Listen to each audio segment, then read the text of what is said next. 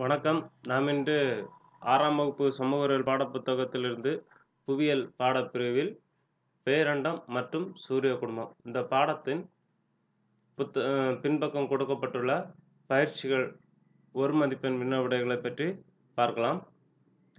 முதலாவதாக கோடிட்ட இடங்களை நிரப்புக.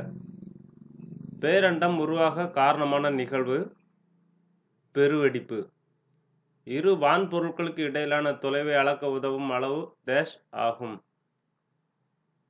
ஒளியாண்டு.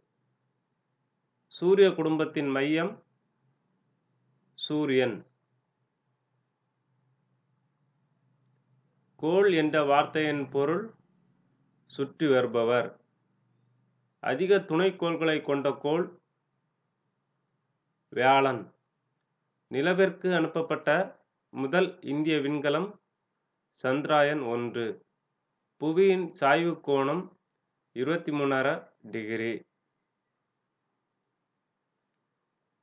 நிலநடுக்கோடு சூரியனை நேராக சந்திக்கும் நாட்கள் டேஷ் மற்றும் டேஷ். மார்ச் இருபத்தொன்று மற்றும் செப்டம்பர் இருபத்தி மூன்று சூரிய அண்மை நிகழ்வின் போது புவி சூரியனுக்கு மிக அருகில் இருக்கும். இங்கு அண்மை இருக்குது. அண்மைனாலே மிக அருகில் என்றுதான் பொருள்.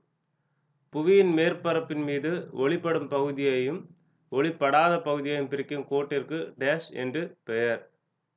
ஒளிர்வு வட்டம். சரியான விடையை தேர்ந்தெடுக்க. புவி தன் அச்சில் சுழல்வதை இவ்வாறு அழைக்கிறோம். சுழல்தல். இங்கே கேள்வியிலே இருக்கு. சுழல்வதை சுழல்தல்.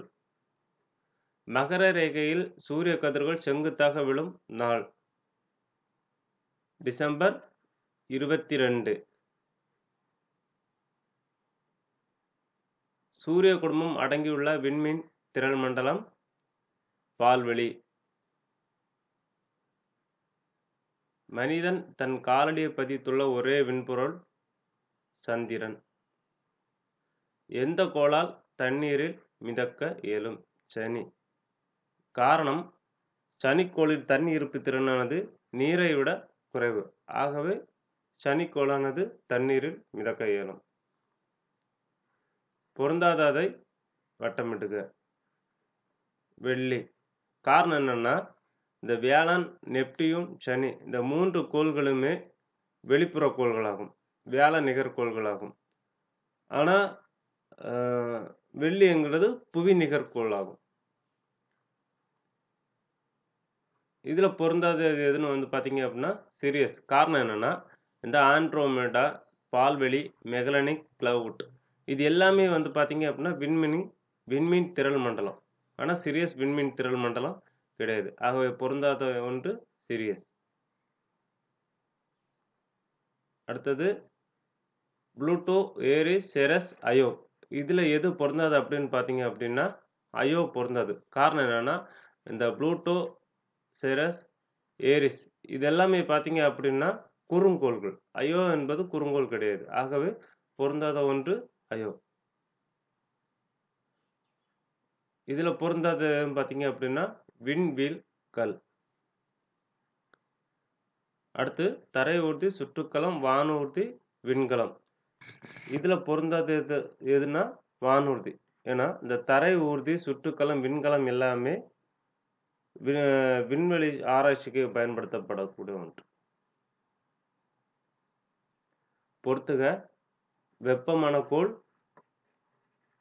வெள்ளி. இந்த வே ஞாபகம் வச்சுடுங்க அப்போ ஞாபகம் எளிதில் படிக்கலாம். வே வெப்பமான கோள் வெள்ளி. அடுத்து வளையம் உள்ள கோள் சனி. செந்நிறக்கோள் செவ்வாய். இதில் இந்த சே சே ஞாபகம் வச்சுக்கலாம். உருளும் கோள்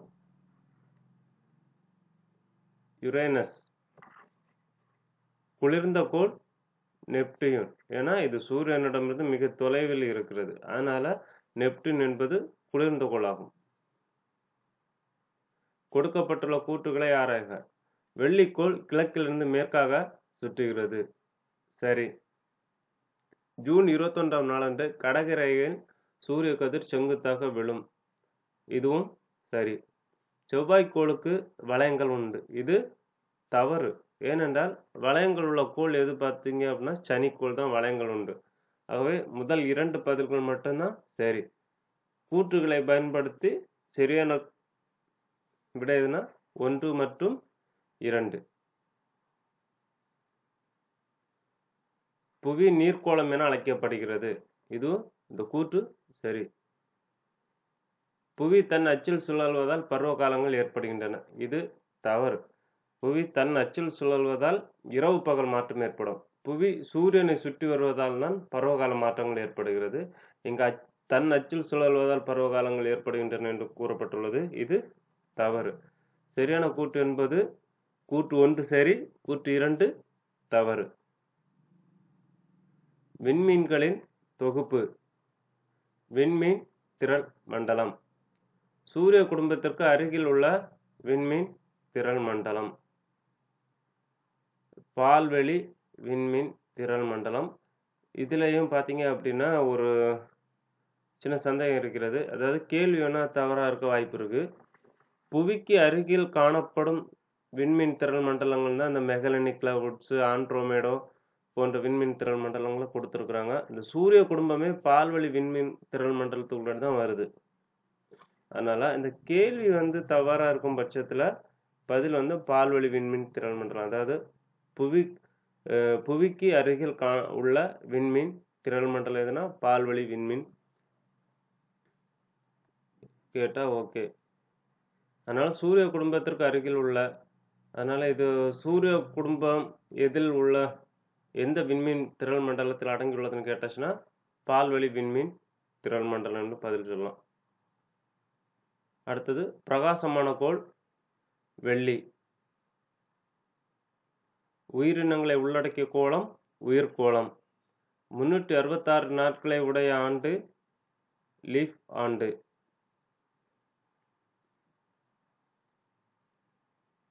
சூரியனுக்கு அருகாமையில் உள்ள கோள் எது? புதன்.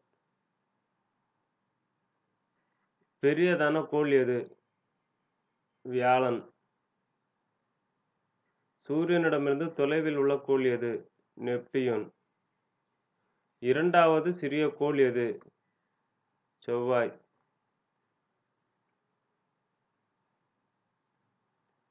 படத்தில் உள்ள கோளின் பெயர் என்ன? யுரேனஸ். கோளின் நிறம் என்ன? பச்சை. இந்நிறத்திற்கான காரணம் என்ன? மீத்தேன் வாயு இக்கோளில் உள்ளதால் பச்சை நிறமாக தோன்றுகிறது. படத்தில் உள்ள கோளின் பெயர் யுரேனஸ்.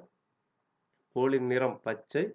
இந்நிறத்திற்கான காரணம் என்னன்னா மீத்தேன் வாயு இந்த கோளில் உள்ளதால் பச்சை நிறமாக தோன்றுகிறது. அடுத்தது குறுக்கெழுத்து புதிர். முதல்ல வந்து பார்த்தீங்க அப்படின்னா இரவும் பகலும் சமமாக காணப்படும் நிகழ்வு. சம பகல் இரவு. அடுத்தது ரெண்டு நிலவை குறுங்கோள் புளூட்டோ. அடுத்தது சூரியனிடமிருந்து மிக தொலைவில் உள்ள கோள் நெப்டியூன். சூரியனில் உள்ள வாயு ஹைட்ரஜன். நான் காலையில் அதுக்கடுத்து மேலிருந்து கீழ் நான் காலையில் தென்படுவேன். விடிவெள்ளி. நிலவை ஆராய இந்தியாவில் அனுப்பப்பட்ட முதல் விண்கலம் சந்திராயன். நான் எழுபத்தி ஆறு ஆண்டுகளுக்கு ஒரு முறை தோன்றுவேன். கேலி பூமி நடுவில் செல்லும் ஒரு கற்பனை கோடு அச்சு. எனக்கு இரண்டு துணைக்கோள்கள் உண்டு. செவ்வாய். இரவும் பகலும் சமமாக காணப்படக்கூடிய நிகழ்வு சமப்பகல் இரவு. குறுங்கோள் புளூட்டோ. சூரியனிடமிருந்து மிக தொலைவில் உள்ள கோள் நெப்டியூன். சூரியனில் உள்ள வாயு ஹைட்ரஜன். நான் காலையில் தென்படுவேன் விடிவெள்ளி. நிலவை ஆராய இந்தியாவால் அனுப்பப்பட்ட முதல் விண்கலம் சந்திராயன். நான் எழுபத்தி ஆறு ஆண்டுகளுக்கு ஒருமுறை தோன்றுவேன். கேலி பூமியின் நடுவில் செல்லும் ஒரு கற்பனை கோடு அச்சு. எனக்கு இரண்டு துணைக்கோள்கள் உண்டு. செவ்வாய். நன்றி.